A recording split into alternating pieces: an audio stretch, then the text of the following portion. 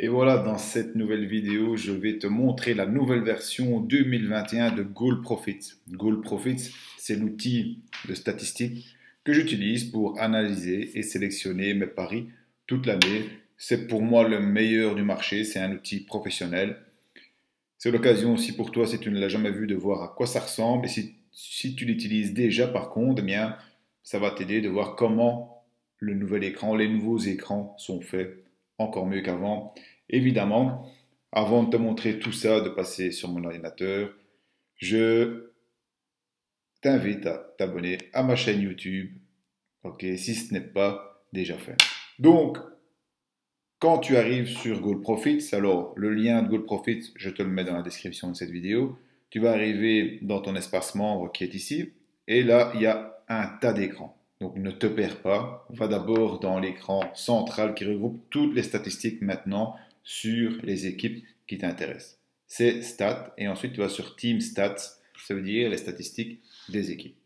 Donc ça c'est vraiment l'écran central où tu vas trouver toutes les statistiques. Peut-être même un peu trop de statistiques, mais il y a plein d'outils pour sélectionner ce que tu veux uniquement.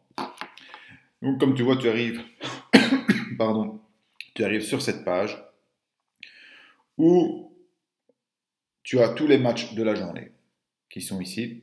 Alors là, ils ne sont pas déployés, mais si tu cliques sur un match, tu vas avoir toutes les statistiques qui tombent sur un match. Ok, mais on y reviendra plus tard. Donc voici la liste de tous les matchs d'aujourd'hui. En haut, commençons par le haut. Comment ça se passe maintenant? Mais comme avant, tu peux sélectionner la journée qui t'intéresse. Donc ce qui est bien, c'est que tu as les matchs d'aujourd'hui, mais tu peux aller jusqu'à une semaine en avance. Je peux déjà aller voir les matchs de jeudi prochain. À l'heure de te faire cette vidéo, on est vendredi. Je peux aller jusqu'à jeudi prochain. Donc, on a vraiment 7 jours de match, ce qui est génial pour faire tes analyses pré-match tout d'un coup, pour tes, paris pré-match de la semaine. C'est moi ce que je fais en tout cas, notamment pour mon club privé. Donc, c'est super bien d'avoir de l'avance comme ça sur les statistiques. Ensuite, au niveau des stats que tu vas faire apparaître, ok, eh bien, ce sont, moi par défaut, je laisse comme ça, ce sont les stats de la saison en cours. Mais en début de saison, c'est vrai que tu n'as pas beaucoup de matchs. Imagine, c'est le premier match de la saison, ça veut dire que tu n'aurais aucun, aucune statistique dans cet écran. Donc tu peux demander, voilà, donne-moi les derniers 5 matchs, les derniers 10 matchs ou les derniers 15 matchs, et alors ça va remonter à la saison précédente. Donc ça, c'est utile pour les débuts de saison. Ici, c'est un, petit champ pour directement aller sur l'équipe qui t'intéresse. Donc, tu tapes, je ne sais pas, Liverpool, hop, tu vas directement tomber sur le match de Liverpool, ce qui peut être pratique aussi. Ensuite, tu as des lignes ici. ok Différents boutons. Premier bouton, tu vois que tu as beaucoup de matchs, mais de toutes les divisions du monde entier. Donc, ce qui peut être intéressant, une journée comme un samedi, d'ailleurs je vais mettre à samedi ici, demain nous sommes samedi. Voilà, quand on voit la quantité de matchs un samedi, on ne sait rien faire. C'est trop d'informations, on ne sait rien faire avec tout ça.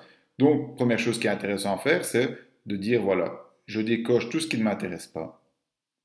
Au niveau des zones, ces zones géographiques mélangées avec niveau, c'est-à-dire que European EA, pardon, c'est les équipes du top européen. Donc, c'est potentiellement ce qui peut t'intéresser le plus un samedi.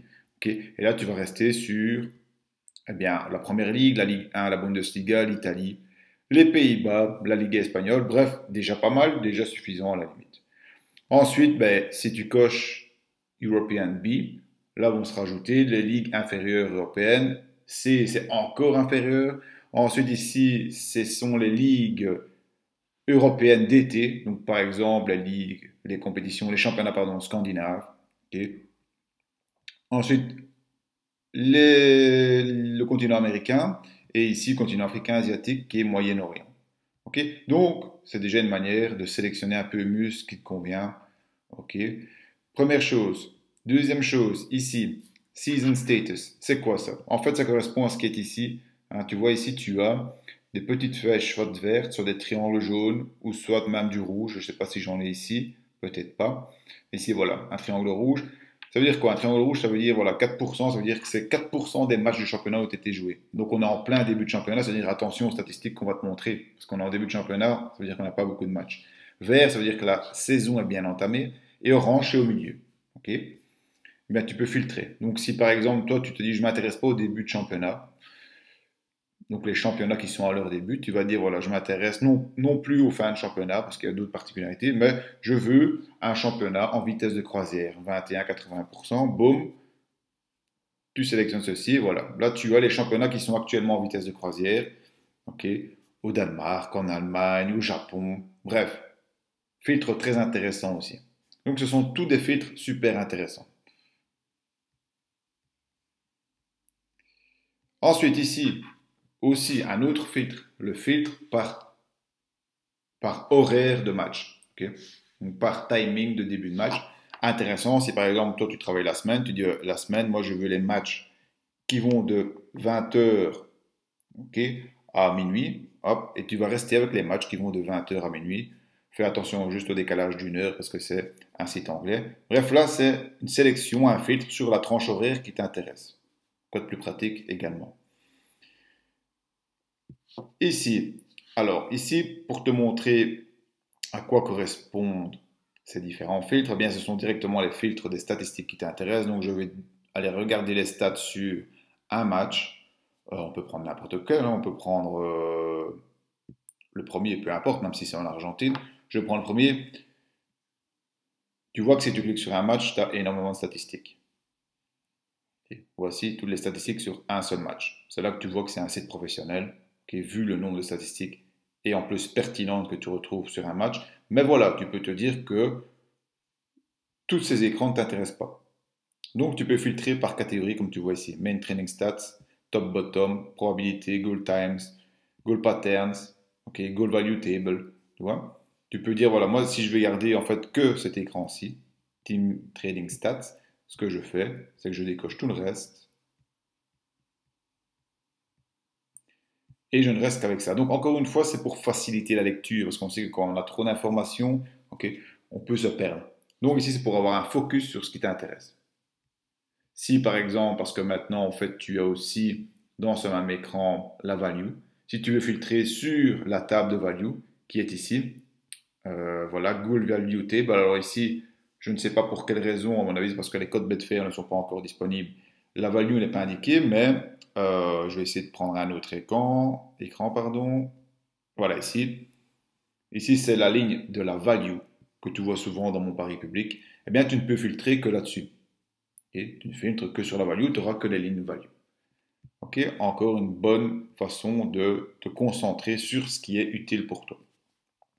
Alors après, on arrive dans le lourd du lourd, qui est pour moi la grosse force de cet outil, puisque ça te permet de faire des analyses rapides c'est les custom filters.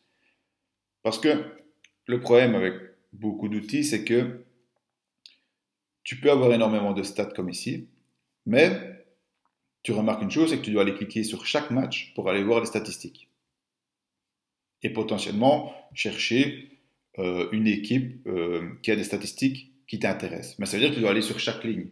Imagine, c'est un temps, c'est un travail qui peut prendre beaucoup de temps.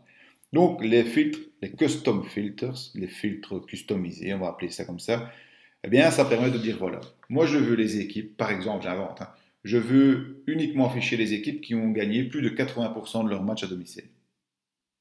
Moi je vais te montrer, donc pour créer ces filtres-là c'est ici. Le but de la vidéo ce n'est pas de te montrer comment créer les filtres, de toute façon, j'ai une vidéo dans la playlist Goal Profits que tu peux aller voir et qui explique comment utiliser les filtres et un tas d'autres choses. Donc n'hésite pas à regarder la playlist entière de Google Profit.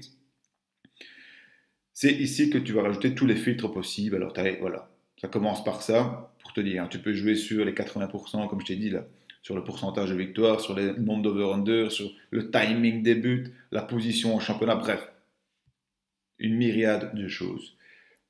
Alors voilà, là j'ai fait un reset, voilà. Et une fois que tu as créé ton filtre, ce qui est bien, c'est que tu peux sauver ton filtre. une fois que tu l'as sauvé, eh bien, tu ne devras plus le refaire. Moi, j'en ai deux de sauvés pour l'instant. Ensuite, tu iras, les fois d'après, tu vas dans Load, donc charger les filtres customisés. Je vais t'en charger un pour te montrer. Voilà. Le premier, alors tu peux le nommer, moi je ne l'ai pas nommé. Voilà, qu'est-ce que j'ai fait ici comme filtre? Eh bien, je demande avec ce filtre les équipes à domicile qui n'ont pas perdu plus de 10% de leur match à domicile cette saison. Ok? Tu soumets ce filtre et hop, là, tu n'as plus que les équipes qui rencontrent ce critère à domicile. Je vais cliquer sur 1 pour te montrer. Si je prends l'équipe à domicile de ce match, elle n'a pas perdu plus de 10% de ses matchs à domicile. En effet, elle a perdu 0%. Et tu peux aller vérifier. Chaque équipe, c'est comme ça. Si tu prends euh, vraiment euh, Kofu ici au Japon, boum, l'équipe à domicile a perdu un seul match, donc moins de 10% de ses matchs à domicile. Donc imagine la puissance de cet outil pour la fameuse stratégie les half-time 0-0. J'ai mon filtre ici où je demande les équipes qui sont sur 2-0-0 à domicile à la mi-temps. Boum, boum, deux lignes. Donc je, vais de une centaine de lignes à directement deux, deux bonnes lignes sur les équipes qui m'intéressent, sur le type de pari qui m'intéresse. Bref, c'est juste génial. Je sais pas ce que tu en penses, mais moi je trouve ça vraiment génial. Alors à tout moment, tu peux tout resetter pour repartir à zéro. Et donc voilà, là j'ai fait le tour, on va dire, du haut de l'écran. Alors, juste pour quand même te donner un aperçu, je vais aller sur une ligue qui est avancée aussi. Hein.